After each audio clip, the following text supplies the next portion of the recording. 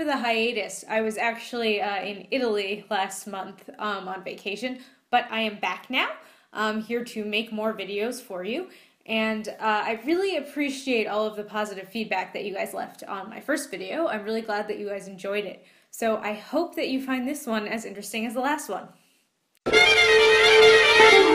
I'm going to talk about something called cultural relativism. And I like to tackle some misconceptions around what it means to be a cultural relativist and also talk about some ethical and moral issues that anthropologists face out in the field. Cultural relativism is usually attributed to Franz Boas, who is kind of considered the founder of American anthropology. The principle, in brief, is basically that everything a person does needs to be understood relative to enculturation, that traditions, practices, and beliefs all need to be understood in context, that they're culturally specific. So the thought is, or at least was, that anthropologists need to show tolerance to the groups of people that they're researching, even if some of the traditions and, and rituals and things practiced by those people might violate uh, the anthropologist's understanding of how things should be. It's about not projecting your own cultural experience onto a group of people that you're studying. And it's even more about just avoiding ethnocentrism in general. Cultural relativism comes out of a tradition of trying to remain completely objective when out in the field. And that's something that anthropologists now sort of realize is, is not entirely possible. But cultural relativism is still a really important tool. In 1889, Boas published an article called On Alternating Sounds, in which he called out scientists for being ethnocentric. At the time, a lot of linguists were observing that speakers of some Native American languages were pronouncing the same word with completely different sounds, indiscriminately. These linguists concluded that the languages were somehow more primitive than their own, that they lacked organization. But Boas noted that the variant pronunciations were not an effective lack of organization of sound patterns, but that these languages simply organize sounds differently from English.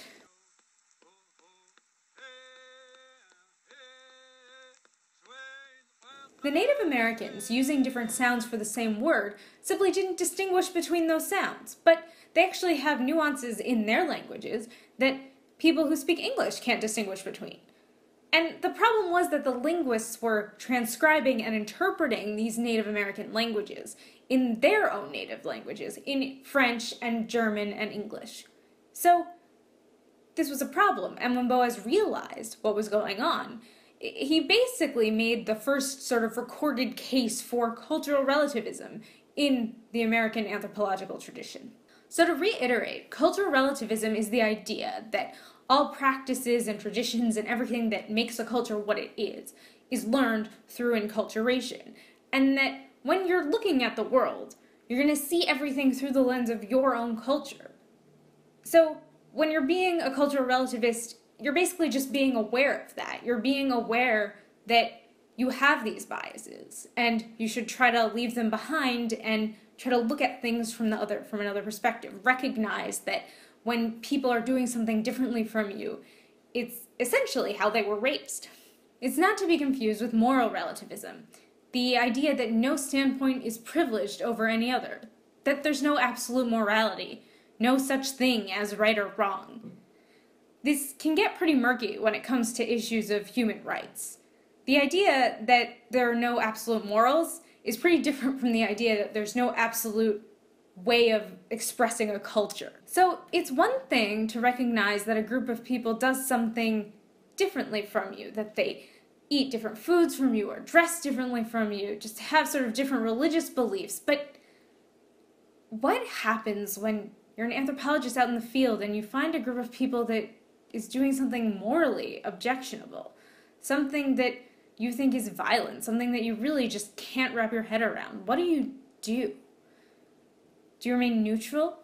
Do you look for ways to justify it? Or do you try to put an end to it? What are the limits of cultural relativism in anthropology in practice? Most anthropologists are not staunch moral relativists, and they're kind of redefining cultural relativism because societies are more complicated than being these bounded cultural units. they're actually part of a much larger global society. A society where there might be such a thing as right and wrong. And anthropologists might have to apply morals, might have to make judgments. I'm going to talk about some situations now where anthropologists have had to make some kind of controversial decisions and navigate some sort of ethically confusing territory. Before I continue, in the next segment, I'm going to be discussing some topics relating to sex and violence, so please use your discretion. I'm going to start with a heavily debated human rights issue female genital cutting, more commonly called female genital mutilation, sometimes called female circumcision. And it's a practice that's popularly deemed a human rights violation. The UN has campaigned against it, the World Health Organization has campaigned against it. It's still practiced extensively in parts of Africa and the Middle East. In fact, um, just last year in 2014, a study was published showing that 81% of Egyptian female teenagers are still undergoing the procedure. And many anthropologists, while still trying to understand the reasons why this happened, um, have have really decided to campaign against it. But it's really important to note their approaches and their reasons for being against it. They they're not quite what you think.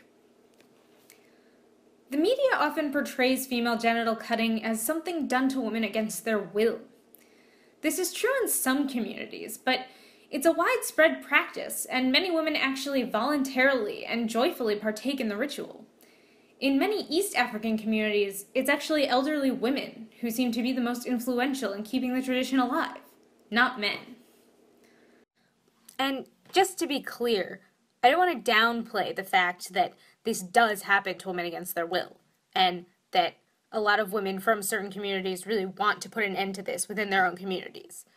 It's definitely a problem.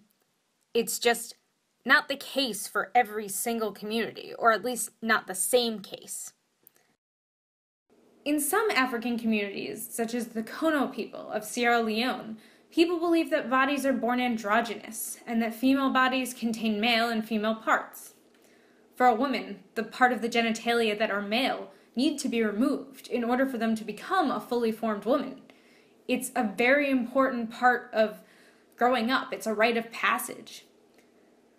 What female genital cutting is, though, according to a lot of anthropologists, is a global health issue. Women don't have access to antibiotics after the rituals. The cutting is associated with increased risk for disease, miscarriage.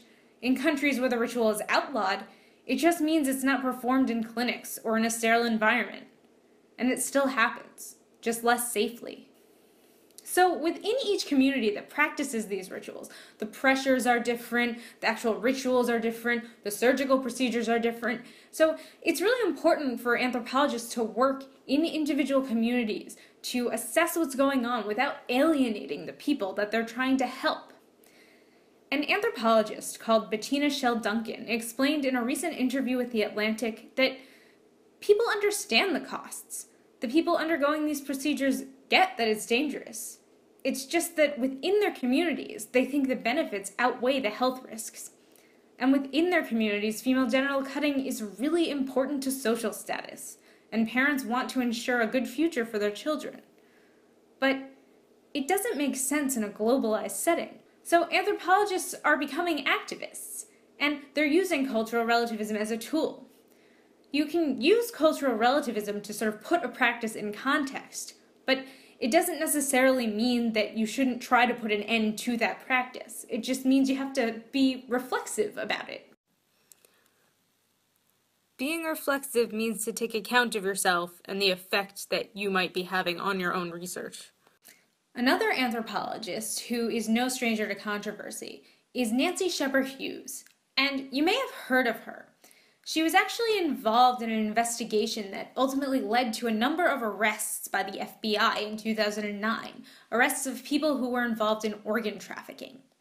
Ten years earlier, in 1999, Scheper Hughes and some of her colleagues founded an organization called Organs Watch, which basically tracked and researched and monitored the organs trade all around the world. For a very long time, Nancy Scheper Hughes has conducted an ongoing, multi sited ethnographic and medical human rights oriented study of the global traffic in humans for their organs to serve the needs and desires of international transplant patients.